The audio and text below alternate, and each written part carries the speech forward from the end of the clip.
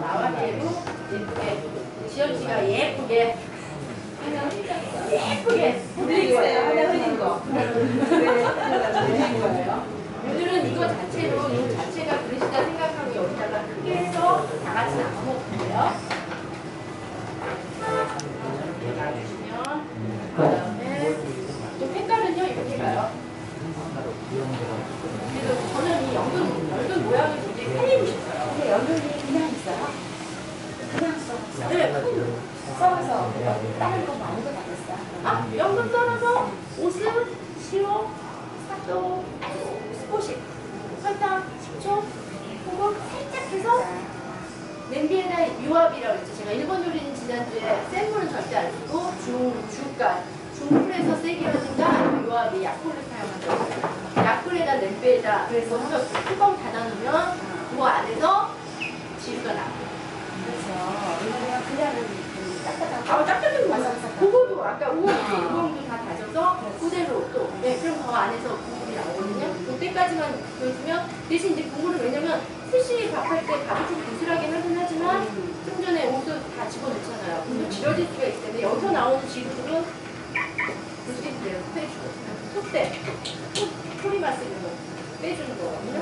그래서, 지러지가 한 데다, 가운데로. 이게, 이렇게 해놓고선 다 보이진 않아요, 또.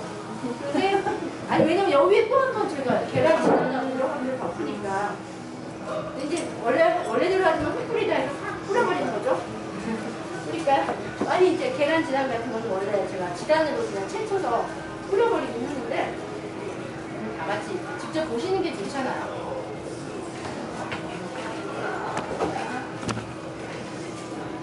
여기 들어가는 것들이 다 코레 음식이랑 건강 한 음식들만 사실은 지금 골랐어요. 학교는 학교가 연어인데 연어는 그리고 여름에 보양식으로 하려면 장어, 운하기, 운하기 썰 그러니까 가장 고급으로 이제 저희들이 이제 모여서 교회 저희가 이제 한다이 교회에 있었는데 교회에서 이제 손님 오실 거나 한 달에 한 번씩 파티를 한다 그러면 꼭 이걸 여기다 이렇게 운하기나 올려주시거든요. 네. 자, 이거 드리겠습니다. 연근 위에 또 이렇게 새우가 올라가니까 색깔이 더 진하죠? 네.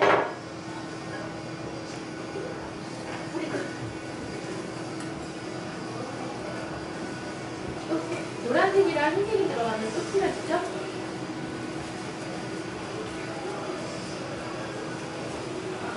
또 그때 계절마다 사용하기 때문에 제가 거기 올렸던 거에는 큰 잎이 있었, 있었, 있었고요.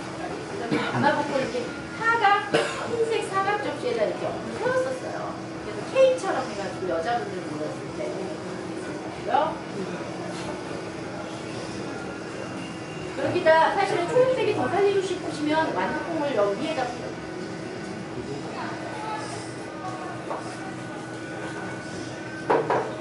많이 불어났죠, 양이?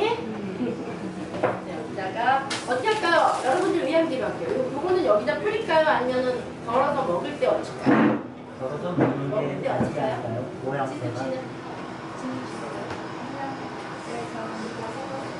지금 거기에서. 그러니까 자 의견 주세요. 올려요 그럼 그냥.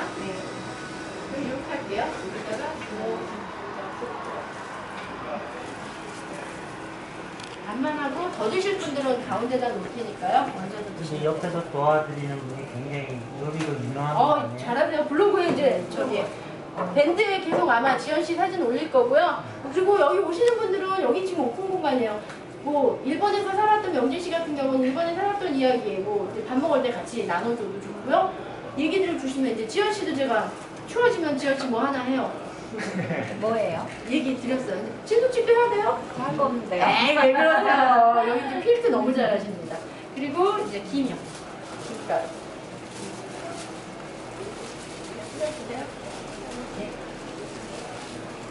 오늘은 이걸 그냥 제가 혼자 만들어서 여러분 드세요 하고 하는 것보다 일본어 밥상이니까 일본어는 이제 하지메 마시때 도저 로시코까지 오네가이시마스까지 하셨으니까 제가 이제 이사님 보고 처음 뵀으니까 지난주 거 반복할게 하지메 마시때 김또 모시마스 도저 로시코 오네가이다시마스 하지메 마시테. 하지메 마시테. 하지메 마시테. 하지메 마시테. 처음 뵙겠습니다. 그러니까 이게 지난주였고 오늘은 제가 프라쿠나 따라 해가 떨어져서 어두워졌을 때 곤니찌아가 아니라 곤방화. 그러니까 아까 지금 늦게 오신 분들 있으셔서요. 보통 7시 지나면 좀 수업 가르칠 때 아이들이 물어봐요. 7시 지나면 뭐 6시 지나면 저녁이 되면 곤방합니까? 근데 아니고 해가 완전히 떨어져서 어두워졌을 때가 곤방화.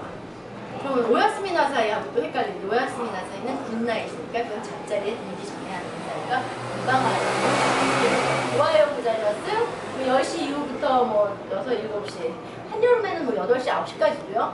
곤니찌어가 계속 가지고 오늘처럼 비가 와서 빨리 어두워진 날은 봄방화가 이제 들어가요. 그래서 오늘은 다음 주에 만나면 이제 날씨 다음 주에 만나면 봄방화를 하실 거예요. 왜냐면 지난주에 7시로 하니까 아무래도 조금 빠른 기반이 있어서요. 뭐 오시는 분들 생각해서 이제 7시 반을 제가 진행하려는 하려고 하거든요. 그러니까는 나중에요. 봄방화로 이제 인사가 통일이 될 거예요. 이제 한두 분이 새로 오신 분 있으면 반복하면 돼요. 어차피 반복하면서 학습이 되는 거니까요. 이거는 이 소식을 갖고 올 테니까요.